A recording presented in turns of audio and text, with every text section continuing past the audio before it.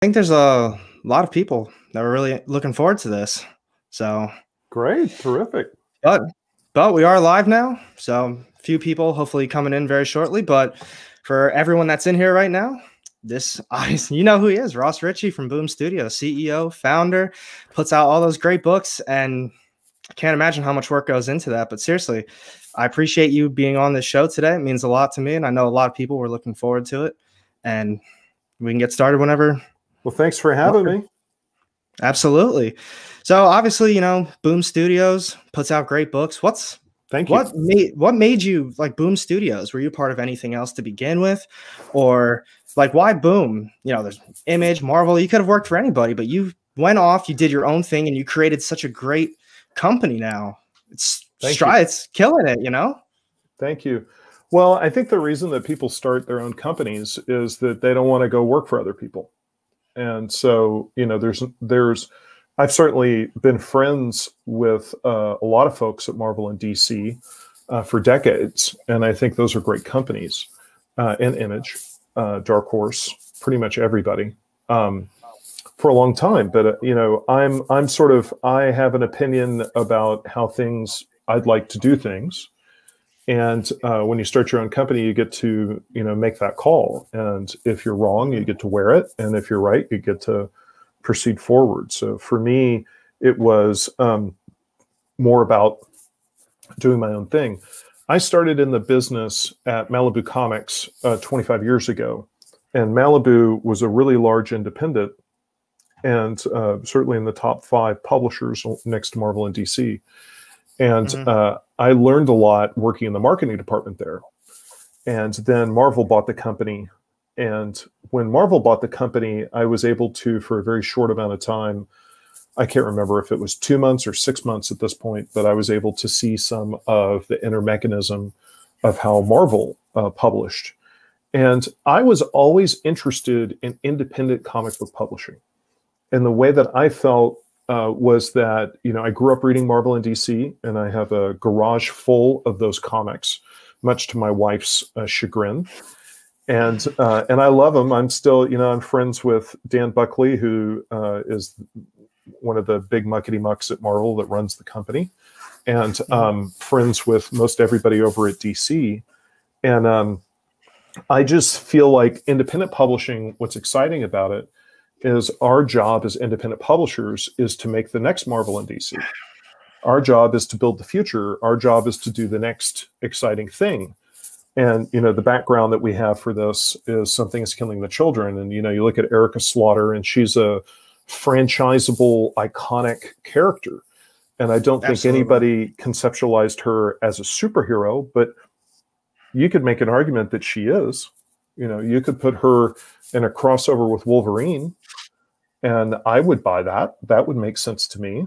Uh, and so I think building tomorrow's franchises is what the independent comic book publishing business is about.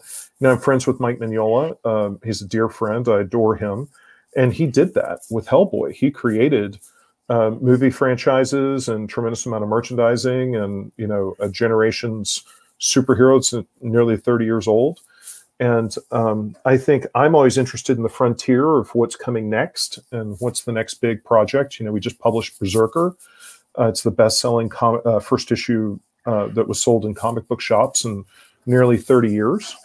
And you know, it's like Keanu Reeves wants to do something cool. Let's go build that into the next franchise. So um, for me, the story of how I started Boom is once I worked at Malibu, I got to know these incredible Hall of Fame level creators. And one of them was Keith Giffen.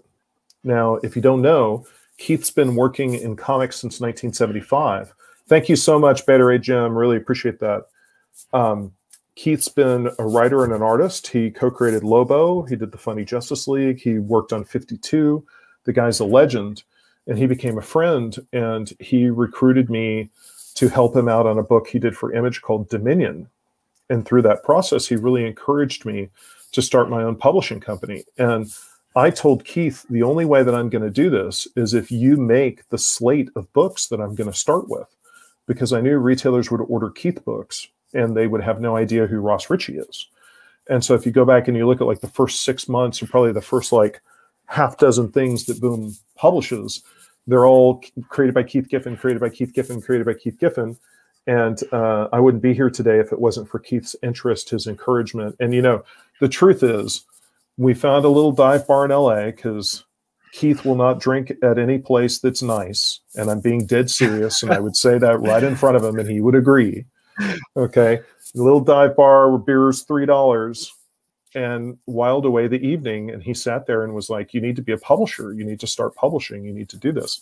And I told Keith he was wrong. I said, You know, nobody knows what Boom is. Why would anybody care? And when I woke up the next day, I thought, a Hall of Fame talent like Keith Giffen is telling me that I need to do this. Who am I to tell him no? So he was right. And I'm very lucky that I have people like that in my life That's encourage awesome. me and support me. I mean, I wouldn't be here if it wasn't for him. So always great. That's what it is. Sometimes you just really need someone that's going to push you that extra step. I mean, even with AR Comics, I had this was something that I started. I think I talked about this in my last video, but I talked. I started this because, um, obviously, I was in the Air Force. My dad is a huge Marvel comic book reader. That's what he loves. Ooh. And me being out here, I'm obviously not home. I can't talk to him every single day, like you know, like some people do. But for comic books, this was a way for me to be able to casually talk with my dad like hey i picked up this book. Did you read this? Yeah. And then we talk about superheroes. And then i just it grew and it grew. I decided to make an instagram do some reviews. I told my dad about that too. And from there it turned into well why don't you make videos? Why don't you do this? And why i i had no reason not to. Wow. and it's just such an awesome passion and especially for something that i can share with him. And you know we bounce ideas off each other. And i mean i'm going to be honest his taste in books it's not all there. I'm still trying to get him on the indie train.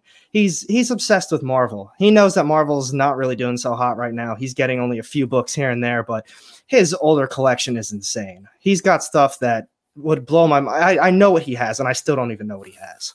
So, so when does he go on vacation, and where does he live? Uh, so that's funny too. He doesn't go on vacation. oh, I think no! How am I, I think supposed I've to sneak on... into his house and take all of his cool keys if he's? Do you remember when you invited Ross Richie on your show and he threatened to steal your dad's comics? Oh, my dad would love to sit down with you and talk about it, though. I I'll tell you, I love old books, man. I know oh, I, I love is. the history. there he is, Keith. I love it. I love so, it. So Keith is actually the owner or manager at the Encounter. It's the comic book shop that I go to when I'm back home in Bethlehem. And you know, my dad, he's not up to date with computers and ah. electronics, so they always watch it together. But it's good to know that they're laughing at that one. I love it. I love it. Well, I love comic book history, and you know, I, I, I especially, I was actually getting into a really big debate because you know the Stan Lee book just came out. Uh, and uh, yep. was was talking. Paul Levitz, who ran DC Comics for 30 years, was the publisher. Uh, excuse me, president of DC, is my mentor, and um, let's just say that I have access to amazing uh, facts about comic book history that most people never get a chance to hear those kind of stories. So, oh, anyway. what are some cool ones? What are some of the cool ones? Oh, hey, oh, now I, if for everyone that's in here right now, you obviously missed the early conversation that we had before I went live. This man knows the history of Texas. And he, he, laid so much info on me that I was like, oh my God, I'm sitting here right now. Just wow. I had no idea. Well, so, I, I think that's what Texans know too much about Texas history. And one of the reasons they do is that they teach it in public school every year, all the way through elementary school. And so, cool. um, yeah, so they just drill it into your head, and uh, I think it's one of the reasons why Texans are so obnoxious, is they just learn all this Texas history, and they they they just teach you that you're you're different.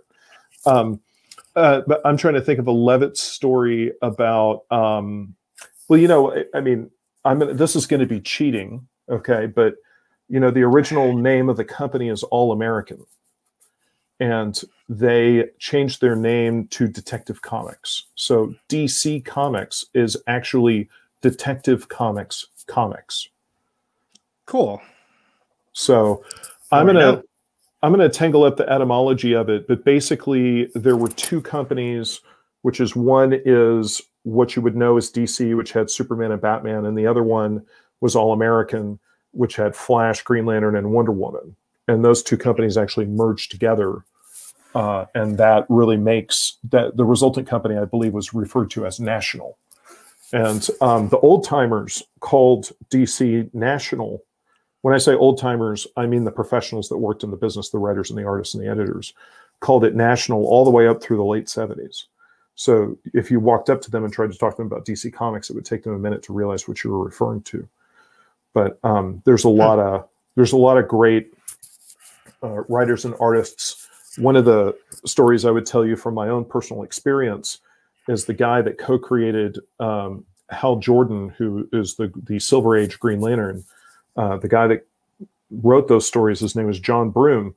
In the late '60s, he tried to organize a union to get paid better as a comic book writer. And what they did was they fired John Broome as well as Gardner Fox, and they hired a bunch of kids. And those kids were uh, people of the generation of Marv Wolfman and Len Wein and Mike Friedrich. And they hired these younger comic book enthusiasts to write the comics. And uh, John Broome left the United States, went to Asia, and became an English teacher in Japan and then he the only comic book convention he had ever went to he went to san diego comic-con i want to say in like 2003 and mm-hmm. can you imagine showing up at san diego comic-con if you've never been to a convention I tried going to it a couple years back. The only one I've been to was one of the smaller ones. I don't even know if it was a Comic Con, but it, it, they had some books. It was more like gaming in Philly, and it was a little bit on the smaller side, despite it being at like a big convention center. But mm-hmm. I've been looking at those tickets every year for San Diego, but I just was never able to pull the trigger. And then COVID happened. And It was like, oh, here we go. Yeah. Well, Broome Broome went to one comic book convention. It was San Diego Comic Con, and then the next year he passed away. Mm. So hey, at least amazing. he got to go though. Yeah, and see the you know all the empire that had been built out of some of the creative contributions that he had made. So anyway, it's uh there there's a there's a lot of fun history to talk about. We your your dad and I someday will talk about Stan Lee. I bet you he would love that conversation. he was a great guy. He was, uh, I, I, it was an honor for me to work with him. I published three Stan Lee series. That's awesome. he was he was a joy. He was uh, the he the one of the nicest moments of my life was stand, standing at security at Seattle Tacoma Airport and going home from Emerald City Comic Con, and there was like 500 people trying to get through TSA, and I hear Ross Richie, and I turn around and I look, and it's Stan Lee, and he's picked me out of the picked me out of the pack, and he says, "Great to see you," and he moves, you know, he gets to go to the front of the line, right? So they put him through first. That's so um, cool. I was just I'll never forget it. I was like I was like, okay, that's bucket list right there. Yep. Stan Lee recognized me. Ah, it's amazing. I would be on my phone immediately immediately and be like, yo, you will never guess what just happened to me. the thing is, is it probably took me 10 minutes to realize it happened. My brain was smoking, you know, my, my head exploded. You know, five-year-old Ross just pooped his pants. So with Boom, we just got done talking about DC, a little bit of Marvel. You guys are obviously doing something that's so different uh, you image like you said dark horse all the independent publishers are doing something completely different than marvel mm-hmm. and dc right now. And in my opinion and a lot of people i've been talking with is dc they're obviously trying a lot of new things. They're doing infinite frontier right now. They just had the future state. And you know they keep putting all these short stories in there. Marvel is just pumping out a lot of smaller mini series and just kind of regurgitating the same stuff. But what what are you finding that's been successful with you like for boom studios you obviously are putting out great stuff. The background something's killing the children. It's in my opinion probably one of the top selling if not the top series for boom studios right now. Everyone i talk to has either read it or they're doing whatever they can to get a hold of those trade paperbacks to well, read the, the sales on the book is completely insane. You know the the first issue that first print it's pro it's a little over 30,000 copies on the first print. And I think we've done nine printings and we're over 80 on that first issue. So you can do the math. Uh, you know, I've been doing this for 15 years and you don't go through that many printings. It's completely no. insane. Um, have, have you been on have you been on eBay to even see what it's going for lately? I, you know, I kind of rely upon folks on Instagram to point it out to me because I get a little overwhelmed. And I just can't track it all. And it it's it's utterly incredible. But one of the other thing, and and the trade has gone through the first trade has gone through three printings, and the really? numbers even the trade the numbers on the first trade are crazy. that's It's like- incredible I mean, it is giant. It is gigantic. Like I can't. I don't think people understand how massive these numbers are. And the thing is, is the uh, one you know like Once and Future is gigantic, and something is killing the children is so big that people end up talking about something is killing the children. But if something is killing the children wasn't around, all you'd be doing is talking about how gigantic uh, Once and Future is. Once and Future is a complete monster, and the really oh, it's it's huge. It's a total phenomenon. We're going through. I think we're in our second print on the first trade, and it sold like two thirds, somewhere around. I'm going to get the numbers wrong, but somewhere around two thirds of what something is killing children is selling, which is a mo- monster hit. And you know, like Seven Secrets is has been huge for us. We only find them That when is a they're dead one. has been huge. I love Seven Secrets so much. It's just you know, I love all these projects. It's hard for me to single one out, but I have a real uh, affection for Seven Secrets. And we only find them when they're dead is a monster. That thing launched, you know, I think it sold in a couple of printings, it sold north of 90,000 copies. And then you get to Berserker, you know, and Berserker is, I don't even know how to put it into words. I mean, I never, uh, uh, here, here's, here, here's, I'll, I'll give you this inside story. Okay cool we looked at that project and we figured we'd do 60,000 copies. And then retailers put initials in, and it was looking to do 75. And we started to bop around and think maybe after the final orders were in, we'd be we'd cross 100. And when I came up with the idea to put the one in 1000 on it, I thought I was my poor staff. I was like, we're going to hit 200. And they were all terrified because they thought the best we could do would be like 125. And once we, you know, like we were waiting on those numbers. And then I had a very prominent retailer text me and say, I think you're going to hit 375. And I said, it's not going to happen. You're crazy. And that's bananas. Like, I'm hoping we hit 200. I can't even fathom that we would break two. If we break 200, I'm going to be the happiest lad in Christendom. And you know the the book, you know, it at six. It's now it's north of 625. Congratulations. that is incredible. Thank you. And the thing to put this in context, five years ago, Marvel relaunched Star Wars, and they got about a 500,000 orders in the comic shops, and then they got another 500,000 orders from Loot Crate. And so the Loot Crate orders, you know, Loot Crate, that's a whole different market. We're talking about what you sell through the comic book shops. So you have to go back past Star Wars and you go, you know, Batman, the new 52 relaunch, Mhm. we've sold more than that. What's that? That's crazy. I mean, Batman, I don't know if you know this, the sales charts that you look at online, they are derived from Batman sales. Really? So, yeah. So ICV2 or Comichron, when you go on it, the thinking in it is that Batman is going to be in the top five best-selling comics forever. So let's use that as the index. Right? Cool. So that's that's how reliable Batman is to be huge. We outsold Batman. We outsold uh, Danger Girl was the best-selling uh, original comic that wasn't Marvel and DC. I mean, I I just it's nuts. You have to go back to like Spawn and Wildcats, and that's bananas. You know, so God bless you, Keanu. He's freaking terrific. I love the guy. He's I'll tell you, he has you know given everything for the project. He is so totally committed. Now, I've heard a lot of positive stories about him. I heard he's great to work with, super nice guy. Yes. How did that come about? Did he obviously I've read a lot of rumors in the past that he was interested in writing a book. He had these ideas for books. Now, did you approach him or did he approach you? So, you know, I want He to write for us. Boom. That's in, that's insane. Yeah, what the way to sort of process that is we have a group of people that work in Hollywood um, every day. So we have a, a Hollywood team that handles the film and TV deals. So we have a TV deal with Netflix, and we have a feature film deal with the company is called 20th Century. They're owned by Disney. It's the piece of 20th Century Fox that mm-hmm. is left over after Disney bought Fox. So Fox went this way and 20th Century went that way. So we have this group of people that all they do is talk to the talent agencies. And they're uh, talking about the writers and directors. And we have a slate of 20 comic books, most of which have not been announced, that are in development as film and TV shows.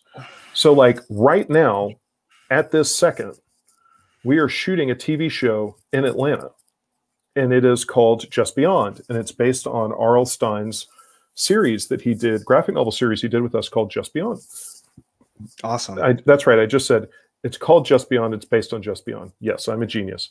So anyway, um, it's being shot in Atlanta by uh, Seth Grahame-Smith is the showrunner, and it's going to be on Disney Plus uh, later this year.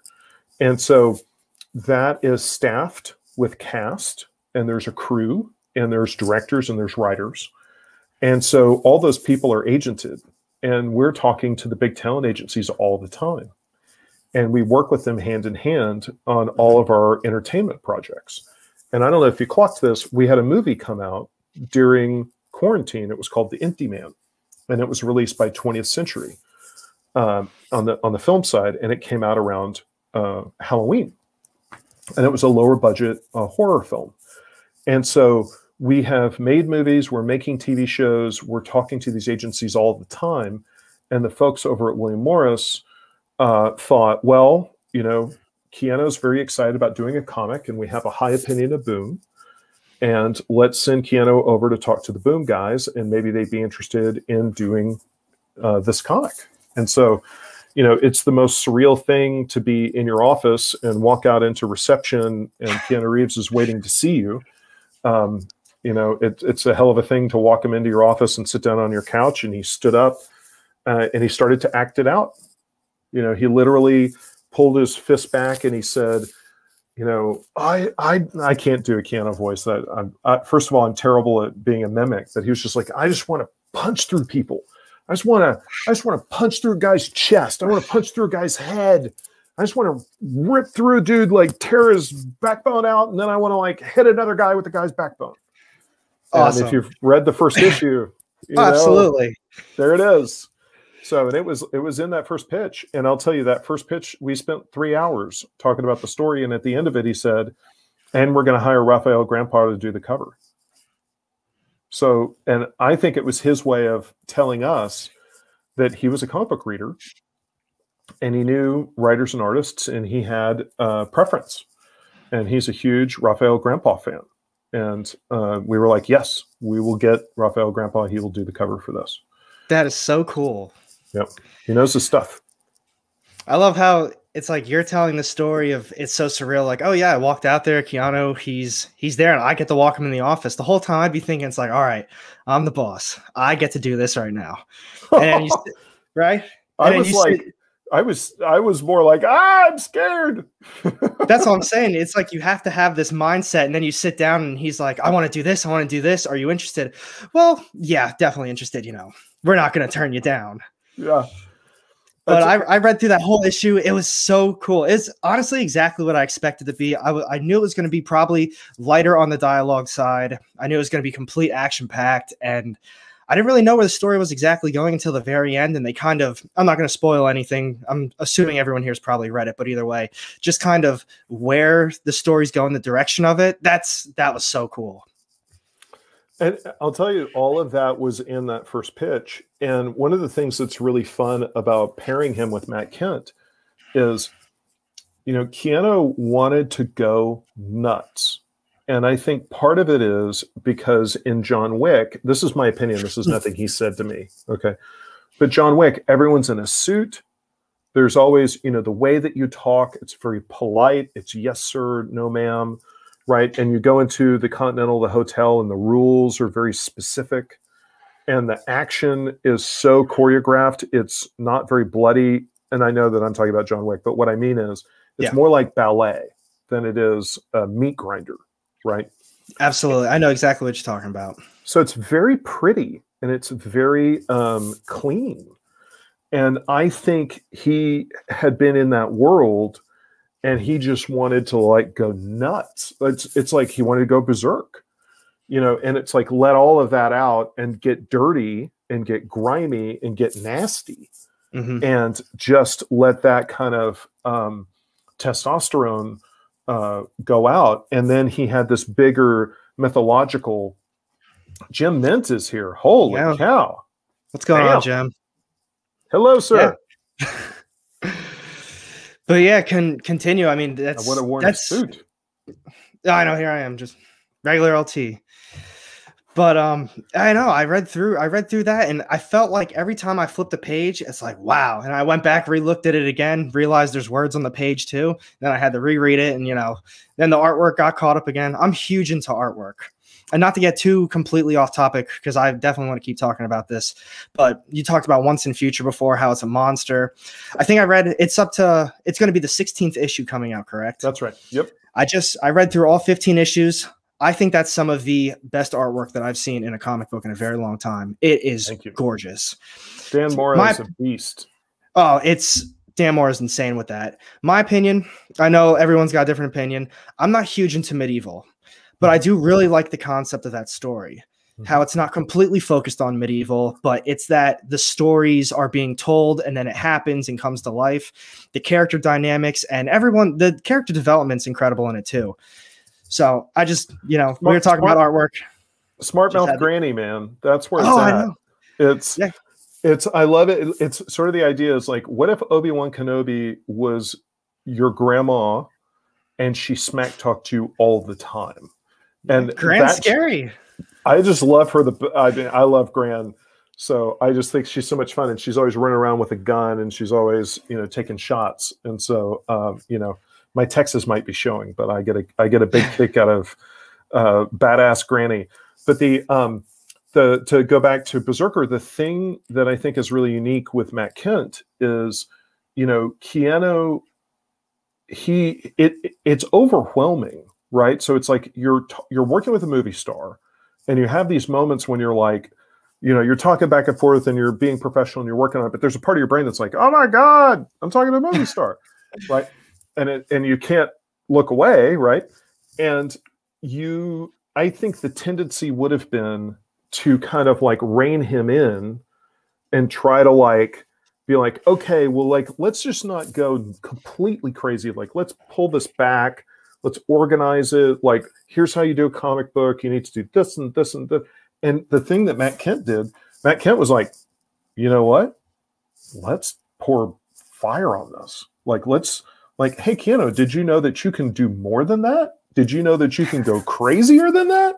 Like, and and from the jump, he was like, Kindt was kind of a troublemaker, and he he will love that I said that because he would like cock his head and look at me in these pitches because we brought Kindt out to meet Keanu to make sure they got along and everything.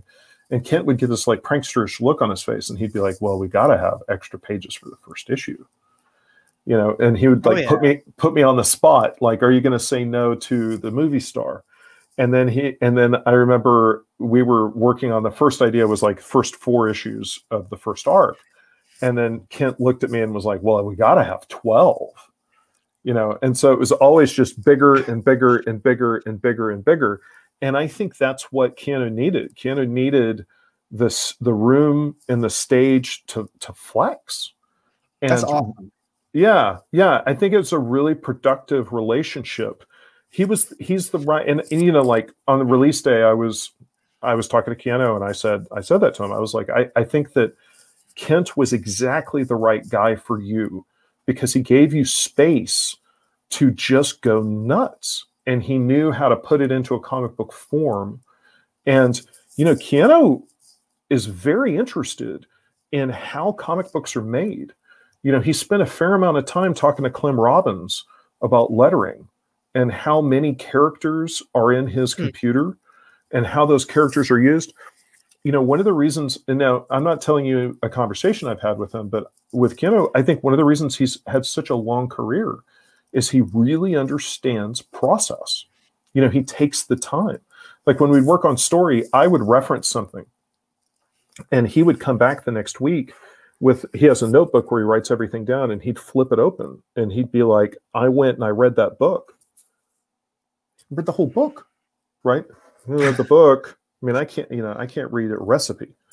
And he's read the whole book and it's like and i think this and i think that and i see what you're talking about and thematically i agree. And you know it's very focused. You know he's a guy that has lived with cinematographers and the stunt team and the you know every, you know how are you're going to block a scene and how how do you do it? How do you creatively put it in a language? And he's really drilled down on you know when we were going through finding Ron Garney it was like real specific style and action when we contacted Ron and told him that Keanu liked his work Ron thought that we were messing with him like Ron thought that's just what you tell people we're like no you don't understand like he, he likes you. He picked you. like we'll put you on a Zoom with him and he'll tell you, you know. So he went through and looked at everybody and he had opinions, you know. That's So- awesome. And I don't know, I'm I still think that would be insane. I I've it's cool that you have a firsthand experience and you're kind of confirming everything that I've heard about him as just a person. But it's really nice to hear like this firsthand experience that he really is just this genuine. He cares what he's doing. He puts his time into what he's doing. And the cool thing with this is it just seems like I don't know, he had this idea. He showed up, he's obviously a movie star, a huge movie star, and you were still able to keep your focus as, you know, CEO, founder of Boom Studios, and he's bouncing these ideas off you and it takes a lot for someone to right off the bat just not completely accept what he's giving you. You clearly you still said like, "Oh, it's a great idea. I like this. I like this," but you still had opinions, you still had your process that he has to follow. And I'm sure there's not a lot of people out there that would probably do that. They might say like, "Oh my god, he wants to write a book for me. Whatever you want to do, just go do it." You know? Well, I think So- something something that creative people want is they want a real opinion. And I think creative people that are very successful, they're not looking for a yes response. They have done many drafts and they've gone through process where things improve. And they know that what they need to do is build a team. And part of it is if you're the person that says yes, you don't pass the sniff test, right? You're too big of a pushover. Um, and you're just there for the celebrity. And what Keanu was looking for was a creative partnership, and he knew um, he needed to work with people that he could have a back and forth with, and that he could um, forge. It, the nice thing about movies and TV that is similar to comics is it's a team Sure. sport. You know, comic book publishing has a lot in common with making books, but books, an author sits down and writes it, and then an editor might read it and give some ideas. But you know, we're talking about a team sport in making comics, and that kind of collaboration. You know, you can't do it on your own. I mean, there's there are people like Jeff Smith who did Bone on their own. I don't mean to leave them out, but it's very rare. And so um, he was really looking. It, part of it was a test. It's like, would, if I kicked out a bad idea, would you tell me no, or would you just go along with this because I'm Keanu Reeves? And if you are just going to go along with it, I'm not interested. And you know, I the, the best story about him that I could tell you is when he came in for the second meeting, he went into the reception area and there was an assistant there. And he said, Hey, he remembered her name. She had talked to him about family member or a pet or something. And he remembered that person's or thing's name and asked about that. And I thought, That's awesome. I thought I can't remember what my wife sent me to the grocery store for 10 minutes ago. I mean, really, it's a problem. Right. And here's this movie star who is two weeks ago came in here and had a casual conversation about, you know, is your dog okay? And and now what now I realize I'm talking about John Wick and a dog, so everybody can crack jokes. Uh, But, I was know- gonna say he clearly loves dogs. Yeah, he clearly that. loves dogs. Maybe more appropriate is like, is your cousin still sick or like whatever it was. and um, I just was really impressed. You know, he's very methodical, very kind, very um, uh, you know, as I'm not sure movie stars can be characterized as down to earth, but I think if they can be, it would be him. That's awesome. So we were talking about the process a little bit. You know, obviously there's a team, you're working with a bunch of people, but what can you elaborate and explain what the actual process of coming up with a comic book is? Like clearly there's ideas that are bouncing, but like the go the the whole the process of it of from an idea to on paper in the hands. Well, if you're going to talk, sort of the way Berserker's made is not necessarily the way most comics are made. We'll talk about Berserker. You know, uh, Keanu collaborates very closely with Matt Kindt, and Matt talks about. Um, Keanu will call him on Saturday night and be like, "Okay, what we, you know? Let's work on the script." Uh, and so he, you know, they they have a pretty big work at, work ethic and uh, work very hard on all the materials. And so Kindt will take the first pass, and Keanu reads it very carefully, and they go back and forth. Um, and then Ron Garney is a terrific veteran. You know, he knows what he's doing, and he certainly knows how to lay out a comic book page. But mm-hmm. one of the funny notes that came back after Ron did, you know, turned in the first batch of pages was Keanu said, uh, bloodier. I want it more violent. I want it darker. I need more viscera. I need it gorier. Right. So Keanu will go through and, you know, will make notes, uh, specific notes on certain things. So, um, cool. And then, you know, it gets lettered and it gets colored and off you go. So, um, now other, you know, editorially, Eric Harburn's involved in all the steps of the process. Matt Gagnon, my editor in chief, and they read the different drafts and make suggestions. And you know what you want is you want the creator to tell their story. And so when we make suggestions to creators we make them as suggestions not commands. And so we say this is your story but it might be cooler to end this beat at the bottom of the page so that when you turn the page the next beat has a big impact instead of put the beat in the middle of the page. And that's an, oh, I didn't think of that. That's a great way to go. Let's do that. So that's the kind of collaboration you want to have editorially. Now, creating most comics, it's usually, you know, James Tynion on Something is Killing Children. James knows how to write a, a, a comic book. So, you know, he indicates to Harburn what he wants to do. You know, he'll turn in the script. Harburn might make some suggestions. Maybe there's draft or two. Off they go to Werther. And um, you know, then it gets colored, then it gets lettered. So cool. And yeah, I mean, obviously James Tynion, he knows what he's doing. He's he's killing it on Batman, no pun intended. He's doing very well, and something's killing the children. Something is killing the Batman. Some, someone something's killing, killing the, the Batman. Batman. Yeah. That's that's going to be the new crossover series. I'm in. Nah, we got it going now. You heard it here first. No, but seriously, I the first time I heard something's killing children came out, I told everyone, like in my friends group, I thought, you know, this is going to be a huge series. I'm going to be honest, I didn't even get it when it first came. I wasn't able to get the first print right off the bat.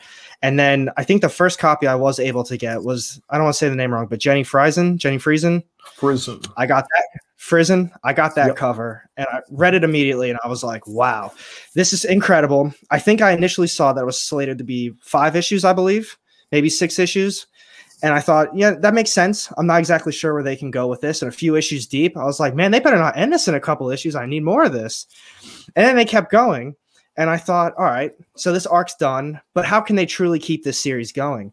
And you know, now now the world is open. House yeah. Slaughter came, they did their thing, they saved the town.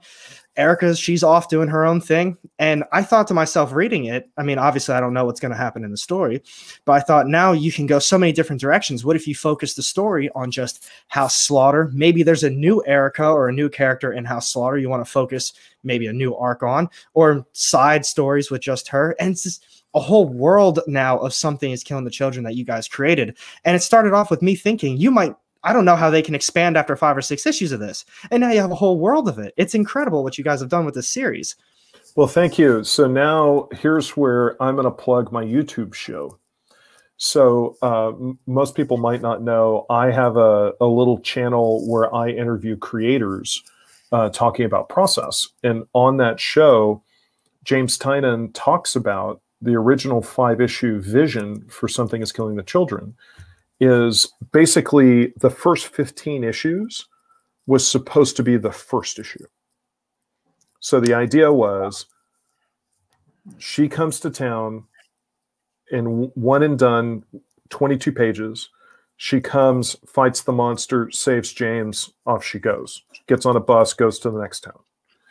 And so you can see how expansively, like he was thinking it was sort of five one and done, sort of like vignettes that were lined okay. up. And and so you can see how it's as he started to write the first issue, he uh, you know called us and was like, "Hey, I think this is bigger than that," and we were like, "All right, let's go, let's go, let's go, let's let's make it bigger."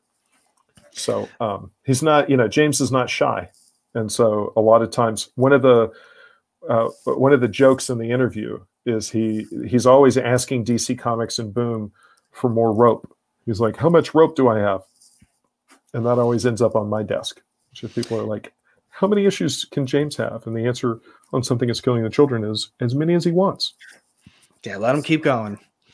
Yep. So, so that's one of the things that I really love about independent companies, specifically, obviously, you and Image. Those are my two go-to. But the one problem I've been having with Marvel is someone commented in one of my last videos. They said Marvel feels very corporate. It's you have this idea for a comic book, you have this character, they have to follow these rules, and the book has to follow some sort of guideline. And I think that's what I love about independent comics so much is that you're here and you say James Tynion. It's like, oh, you want more issues of something that's killing children? You want to expand it? You think you're going to do more than five issues? You want to rewrite the story? Do whatever you want because clearly you have this idea. I don't think Marvel would do that.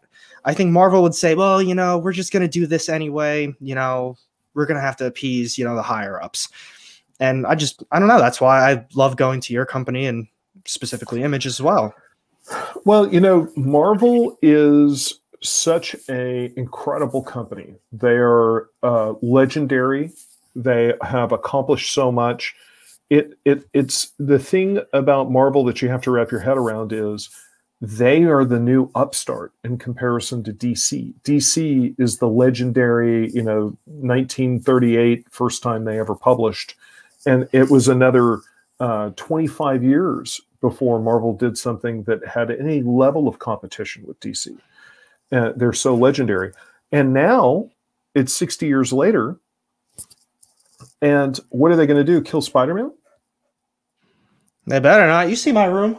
You see all the Spider Man? They better not. But, but but you could accuse that of being corporate, right? Because at the end of the day, they can't just do whatever they want. And there's a way in which it's bigger right? It's like the fans own Spider Man, right? It's and like I agree with that too. The world, the universe owns Spider Man, and they're the caretakers, and their job is to deliver for that. Whereas, you know, James and Werther and Boom, you know, it's like you can go kill Erica Slaughter. You can kill her. You can kill her. And you know, one of the things that's interesting in genre fiction, and so now I'm going to get into a conversation with your dad. This is uh, the more expansive viewpoint when you've really kind of studied the field, the first adventure character that had long lifespan, that had a beginning, a middle, and an end was Conan. And now it, Conan didn't originate in comics, Conan originated in short stories. But it was the move from Conan the Barbarian to Conan the King. And Conan gets old and he has an end to adventuring. And in that framework, you see sort of the publishing sort of problem, which is you know, go back and look at the original Spider-Man stories. He's in he's in high school, and then he goes to college, and then he stays in college for like 30 years. Right. Hey, hey, you know, so it takes a while for some people.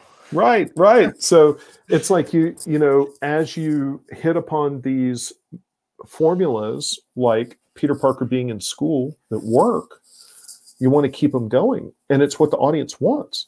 But then you have a college yeah. student for 30 years right? So it's a it's challenging to do what they do to do you know the world wants more batman comics than you can publish and wants more spider-man comics than you can publish and wants more hulk comics that you can publish. And oh by the way they can't be the same comic book every single time. They have to be different.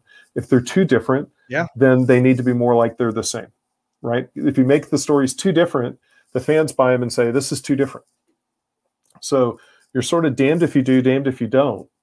And it's, you know, running one of those companies is hard. I, you know, I know Dan Buckley used to be the publisher and now he's the, forgotten his term. He's, and Joe Q's chief creative officer, but Dan has a high muckety muck title like that. But he and I were drinking at San Diego Comic Con one year, and and Dan said to me, "You know, I can't do what you do, Ross." And I said, "What do you mean?" He said, "Well, you get out of bed in the morning, you could do anything you want." He said, "When I publish, I have it's all laid out for me. It's like Captain America needs a refresh, so we're going to refresh Captain America this year. Next year we'll do the Hulk. The year after that we'll do Iron Man. The year after that we'll do the X Men." Right? And I said, "Dan, you know, if I was chained up to specific characters like that, I'd jump out the window. I love getting up in the morning and who knows where the day is going to take you. Like you could it could be the next big franchise or it could be a complete dead end. So I love the unpredictability. I love the freedom. I like exploring things. I like the cutting edge. You know, I don't want to be hemmed in by 80 years of continuity. That That's is honestly an incredible answer. I mean, I I totally agree with all that. I get it. It is one of those things, you know, it's Marvel. Say like you're saying, Spider-Man. I'm everyone that's watching this right now knows I'm not a big fan of Nick Spencer's current Spider-Man run. It's just not what I believe to be Spider-Man, but you know, there are people that probably do like it. And these writers, they are, like you said, chained down to writing a character a certain way. And if they do go off the rail a little bit, they might get a lot of backlash. So it, you're right, it is one of those tough things. But that's well, know, Nick's a great writer. You know, Nick's, you know, his deadliest, I think it's deadliest foes of Spider-Man is one of the most loved Spider-Man stories of the past like decade. And so you're always in the situation where you can't please everybody all the time. So, you know, I agree. I, but you know, this is where I figure out how to bring up the fact that we're doing Magic the Gathering. How's that for? I was going to bring that up. I, I know people growing up. I grew up, I never played Magic, but I grew up with Magic the Gathering. People went from Pokemon cards to Magic, oh, yeah. and everyone was trying to get me to hop on it, like, hey, you know, Magic's the cool new thing. And I was like, oh my God, I buy Yu Gi Oh!, I buy Pokemon, I can't buy this. And someone told me, they said, you know, they're coming out with a Magic the Gathering comic. And I was thinking, how the hell can they make a comic of this? There are, it's kind of like Dungeons and Dragons from, I believe it's Dark Horse that you can just go any direction with that. IDW does the dungeons. Or it, it's it's IDW. Yeah. So what what who proposed that idea for Magic the Gathering? I mean, it's still incredibly popular. Being in the military, there are so many people that play Magic the Gathering. It's unreal. And yeah, well, Hasbro pitched us. Really? So that's awesome. You know, we're very lucky um, because you know we do the Mighty Morphin Power Rangers comics and uh, that's owned by Hasbro. And it used to be Saban, and then Hasbro bought Saban's uh, ownership in those franchises.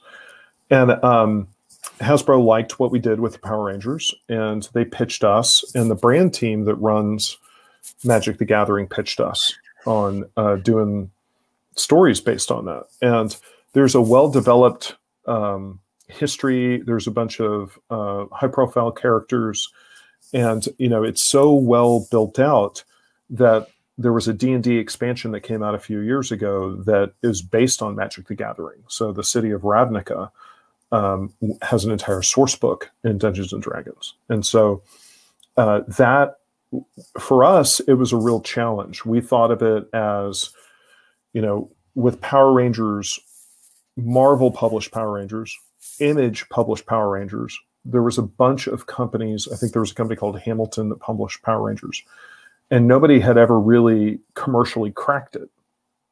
And uh, Magic is the same way, where the issues that had cards in them sold really well, and then the ones that didn't have cards did not sell nearly as well. And we thought, well, you know, if you there are all these people that love Magic the Gathering, and there's this really well articulated mythology. And mm-hmm. one of the things that gets us excited about comic book publishing is bringing new people to read comics. And Berserker does that. There, we've had story after story after story of retailers telling us that people who've never read a comic book before are going into comic shops and are buying it because of Keanu. And mm-hmm. in that same way, we thought, you know, there's all these people that go to magic tournaments in comic shops and they walk right by the comics. And what if we did a magic comic that they were really excited to read? Because for whatever reason, they're not reading the magic comics that have been published in the past 20, 25 years. And I haven't read those books, so I don't know one way or the other. But the challenge is, is what if you could do something that they would pick up? And the initial sales for the book is eight times better than the book was previously. And I was sitting down today actually trying to do the math, and I think it's the best selling magic comic book in 25 years. And so it's really exciting that we got everybody's attention. We put out that ash can uh, mm-hmm. that's basically a look at the first issue. And we did that so retailers would be able to understand and see. And we're hoping that they passed it around the shop and showed it to their magic players and that they had that as a tool to be able to place those orders so that they understood the comic book that they could that they were going to order and get and get excited about it so that they could push it to their fans. And they have come through. So we have high expectations for that first issue. It's very exciting. And hopefully we can convert some of these magic fans into comic book readers and get everybody jazzed for it and I would go so far as to say to go back to getting new people to read comics. I think something is killing the children is the kind of that first trade is the sort of graphic novel that you could read, you could give to somebody that's never read a comic book before, and they could get into it and read it. And you don't need to know a bunch of continuity, and you don't need to know a bunch of specific things that are specifically about comics. You know, like Watchmen is a little tough if you've never read a comic book before right? So yeah, it's kind of the deep end of the pool. But I feel like you can give somebody something is killing the children, and they can follow along and understand the story and get into it. And so, you know, I think it, Lumberjanes is like that for us. You know, there are so many people that have gotten into reading comics because of Lumberjanes, and you know, I think that's one of the unifying things that we're interested in is getting people to read comics that have never read comics before. You guys doing a great job on it too, honestly. Thank you. Thank you. And I've seen, or I guess um, going to shops recently, obviously I'm up to date on all the books that are coming out from all the different publishers. It seems though, obviously, you guys have your ongoings, but there's a, also a lot of mini series. So, do you start off as a mini series like these five issues? Just for example, I know Origins is I think a six issue or a five issue. I think Proctor Valley Road, one of the newest ones, mm-hmm. is slated for five or six issues. Mm-hmm. Now, you initially start off as that for like you know this is kind of going to be the first arc and if it's popular, if it's selling well, fans want it, are we going to expand? Or do you just kind of say, these are the five issues, this is the full story, and move on? I think a lot of that stuff is from the creator. And so, you know, when we're talking about something is killing the children, one of the series that we haven't talked about is what James did with us before, which was The Woods so almost 10 years ago, James had a book published from us called The Woods, and it lasted 36 issues and it was massively successful. And it was a huge indie hit. And so um, we knew that James had written long form before. And so we were trying to kind of coax out of him a longer, longer series, but he needed to creatively see it. You know, mm-hmm. Origins mm-hmm. was always pitched, and as well as Proctor Valley Road was always pitched as self contained. And so, what we really want to do is we want to listen to the creator. And a lot of times we have a conversation. They see it as a mini series. Maybe we go, well, why aren't you doing it as an ongoing? And, um, you know, I like, I certainly am uh, interested in maybe extending the Berserker uh, length, uh, which was something that I was in that conversation from the beginning. So that's an easy thing uh, to talk about. But it's like, you know, we don't want to make a creator be forced to tell more story just because the book's selling well. And yet at the same time, if people are excited about it and they want more story, we want to be able to have a conversation with them about maybe there's room here to tell more story. That's all. That's good. That's cool that you're not I mean, obviously, you're not going to be forcing them to write more, but it's cool that you kind of leave it up to them and say, you know what, this is your idea, this is your plan. If you see it as a mini series and you can get the full story across, let's get it done. But if you want to expand it, you think you can keep going with it, that's cool too. And that's really cool to see, you know, you as who you are, you know, the CEO of Boom Studios being able to make those calls, just letting them free reign. Well, part of what we philosophically do at Boom that I think is something that makes us a little different is we think of it as a partnership with the creator. And so, you know, an example of that is when you do a book at Image, Image's philosophy is completely different. Image's philosophy is it is the creator. Basically, the creator is publishing themselves at Image, and the creator is doing their thing. They're just telling their story and whatever they want to do. And there's no editors, you know, like it is all up to them. And our philosophy is different. Our philosophy is we want to partner with a comic book creator. And so when what does partnership mean? It means editorially, we're going to have conversations about the art, we're going to have conversations about the story. We are going to go back and forth and have discussions.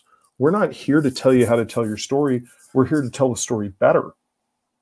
And a lot of creators come to us.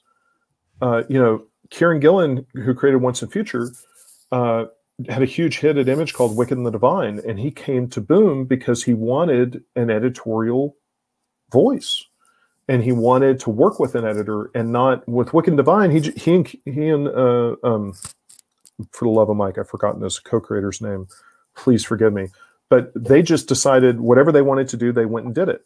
But what Kieron wanted was he wanted a third voice in the mix to talk about it and um, bounce things off of, and we have a marketing team. We have a Simon and Schuster book deal. Uh, we have a Hollywood presence, and so we come and go. Hey, we want to be your partner, and we want to make this hugely successful, and we want to collaborate hand in hand with you.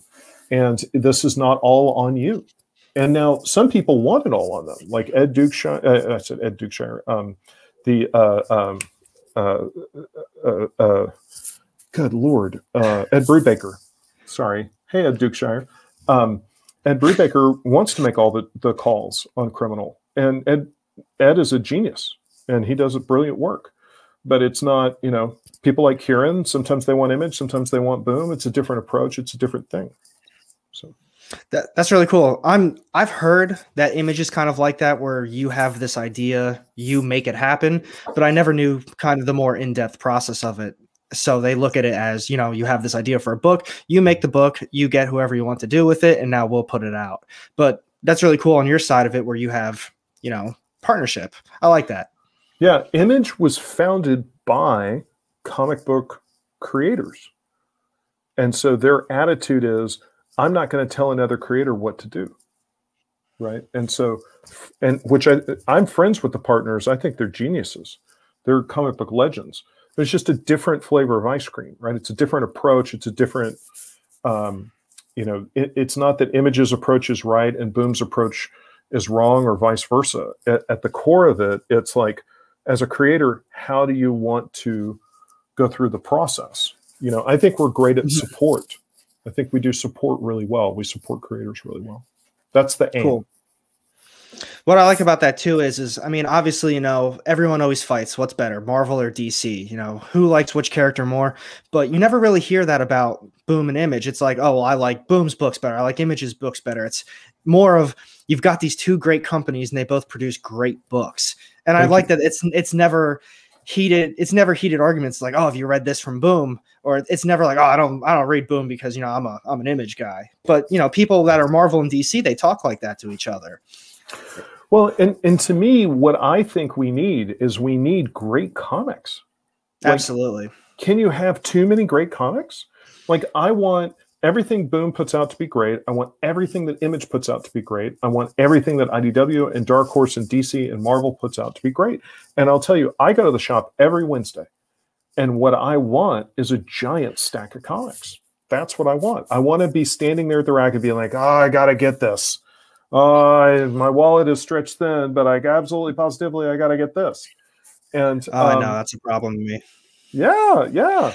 And and but you know what the shop is like when that happens is you go on Wednesday and it's rocking, right? People are just yep. bouncing around and they're psyched and they're picking out their different variant covers and they're bopping and they can't wait to get home. Or sometimes guys get in the parking lot before the you know then they they got to crack the comic open and read it in the parking lot. So you know we that. need that energy. Yeah, yeah, yeah. I, I, I hear you. I get in the I get in the jeep and I sit down. I open the bag and I'm like, oh yeah, let's go. I got this one, got this one. And even la- last week was considered a light week, and I walked out and I still managed to spend. I think it was like fifty three dollars, and I was like, I was like, what did I buy? I said this was a light week. Absolutely, me too. But, but that's what I love about this channel and the stuff that I do because I always try to promote you need to read these books. Everyone, uh, there's so many people that are putting out speculation. We need to buy this for this reason. And then two weeks down the line, after you spent four times, five times the amount that the book's worth, it's back down to a dollar bin book. And it's like, damn, like I really bought that.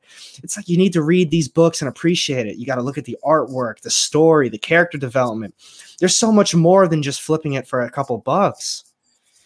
No, I completely agree. And at the core of it, I'm not here, if people want to sell their comics, I'm not here to condemn them and tell them that they're doing it wrong.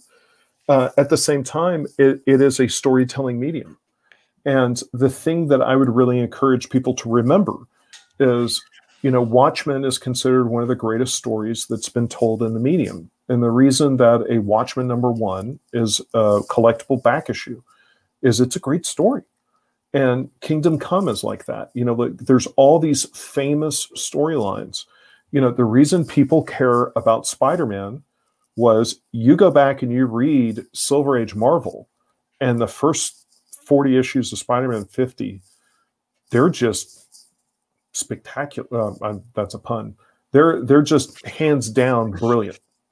You know, they're just staggering yeah. how great they are, and and they're 60 years old. They, I mean, you can't read it I can't watch a movie that's 60 years old anymore and, and get the same charge out of it. So, you know, it's great comics. That's the thing. It's like, it really is. It's all about the experience.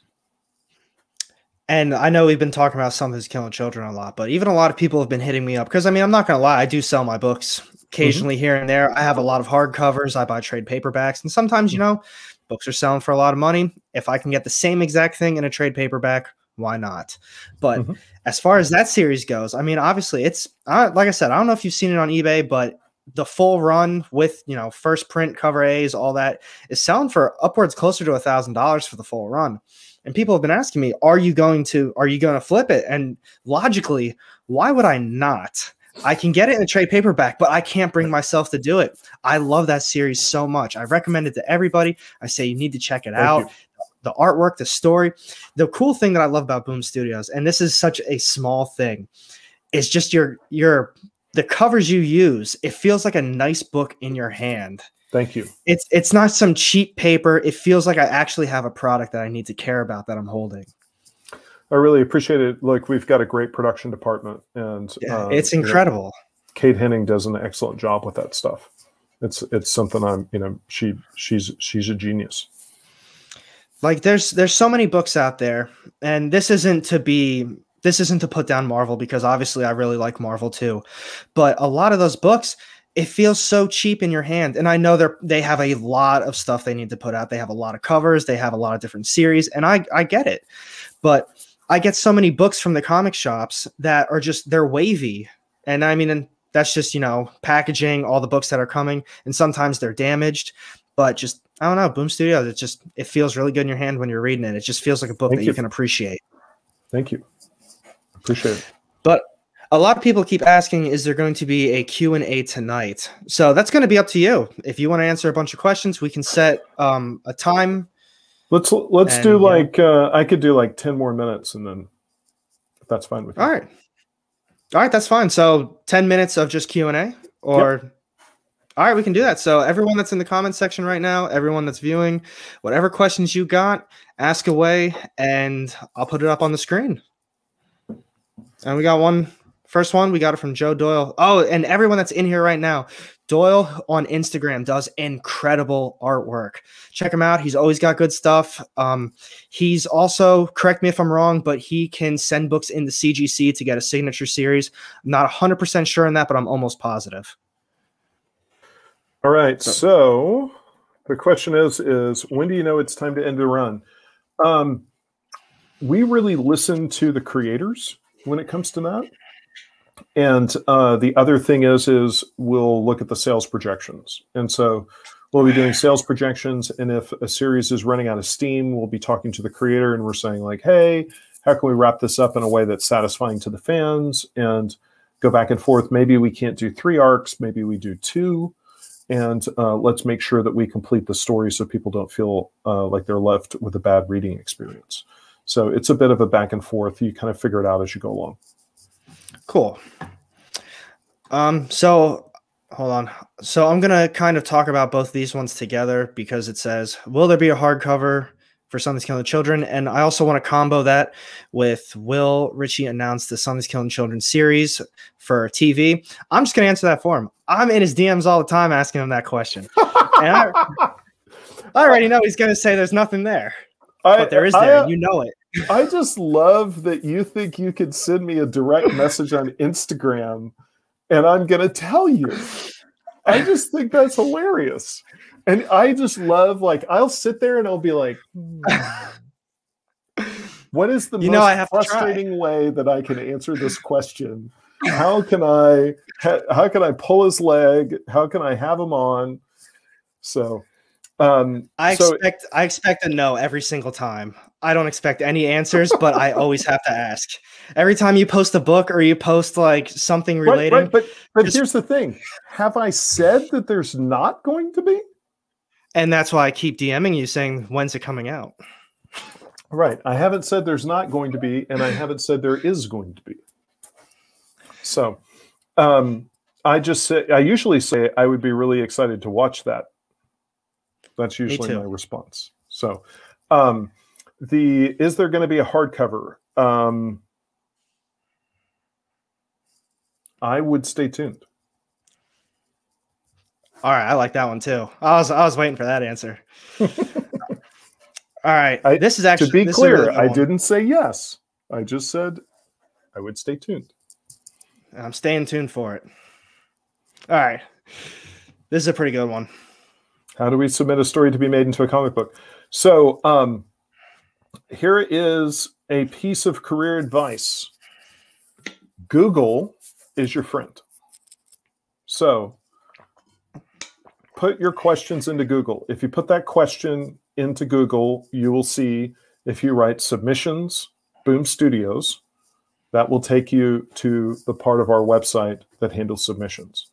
And I guarantee you that every single major publisher has a, sub, a submissions area on their website that will answer your question.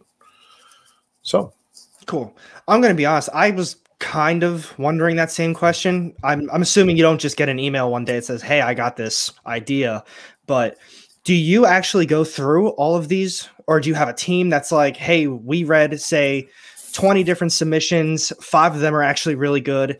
Are you the one to narrow that down? Or do you have another team that would go from there? well, the thing is, is you know, the first barrier that exists is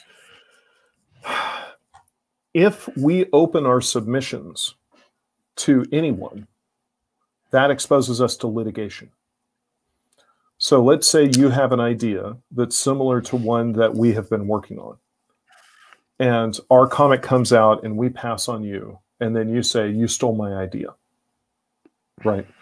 So we rely upon most often what it is is it's you have a published profile in the comic book business and you have a history of professional or professionalism uh, where you've been working and you know this is your career and um, you know sort of demonstrated reasonable behavior. And so the other thing that i would counsel I, i've done some videos on instagram and some videos on youtube on the channel about this is we reduced our output in 2019 by 15% because we believed that if we did less titles that there would be they would all sell better.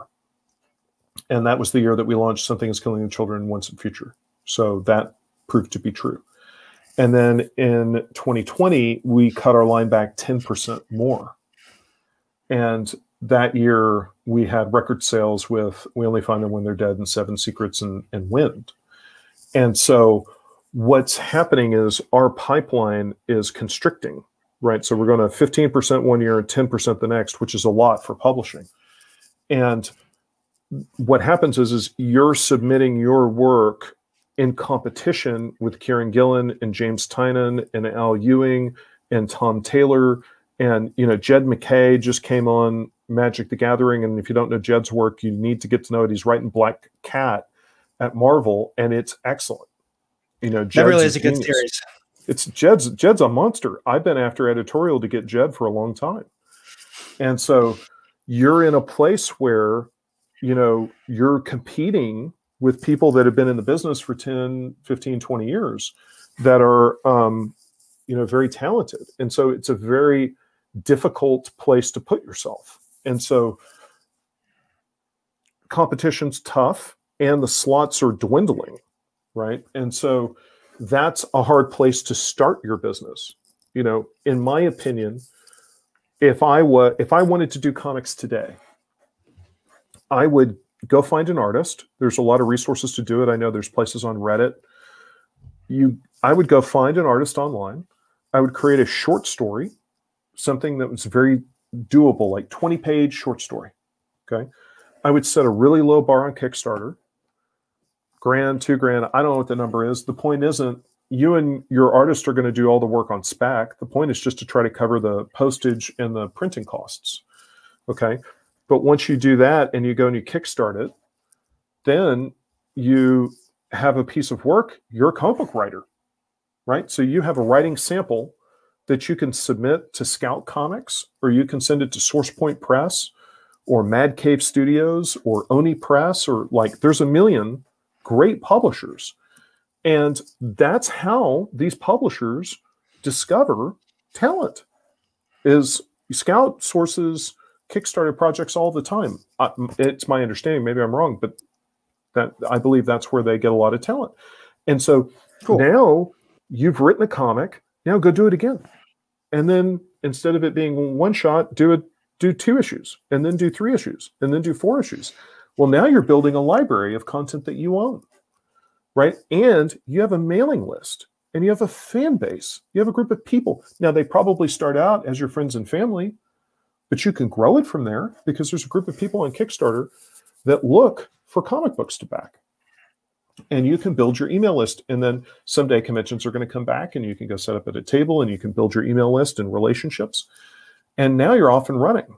But you know, the truth of the matter is, is it's a lot of work. It takes a long time. I just did this interview with Matt Kindt that's on my YouTube channel, and I know I'm obnoxious because I keep talking about it. But the thing is, is you go look at Kindt, he worked for 10 years before he got published. Published. Damn. Like he used to make mini comics. Okay. And he used to take them to the comic shop, drop them off, and never come back to collect the money. And you ask him, why didn't he come back to collect the money? He was afraid they didn't sell and he didn't want to know if they didn't sell. He was doing it just to get better at, it, at his craft. So it's a lot of work. You got to really focus. If you go look at these interviews that I'm doing, every, I work really hard to get the creator to talk about the process of breaking in. How long did it take? What were the steps? What did you think your strengths were? How long did it take you to do these different things? And I think there's a wealth of information that's there that you can go find out. But if I were you, I would go kickstart a short story, 20 pages long, do that, fulfill it, do it again, do it again, do it again, and build a body of work. You can get paid to do it through crowdsource. So that's my two cents. Incredible answer. And on that note, we could end it on that one. So I just want to say before we end it, uh, thank you so much. I really appreciate you taking. Thank you for having me. Day. Oh, absolutely! It's my pleasure. You you're, you're a busy man, and you took time out of your day. And so at this last time, if there's any shout outs you want to do, I know you mentioned Kickstarter. I know you have that Power Ranger Kickstarter going on right now for that massive set that I'm well, still eyeing up. Well, that yeah, that wrapped up, but that did really well, which we're thankful. God. Is it done? Gratitude. Yeah, we did over 800 grand on that one. So that damn. That, that was the Power Rangers community was terrific with with that one. So we're we're really thankful for that. Um, I would just say keep your eyes peeled for Magic. It's coming in April, and um, BRZRKR number two uh, pre-orders are due Monday. So if you want to keep reading your Keanu comic, tell your retailer If you want a particular variant, uh, try to let them know because they're going to have to place their orders on Monday, and it's uh, last call for placing their uh, final orders for that book on Monday. Awesome. Well, it's all good stuff. As I said, thank you again. Thank you, everyone that tuned in. We went an hour and 15 minutes. It's incredible. So, thank you again, everybody. Have a great day. Thank you. Have a great weekend. See ya.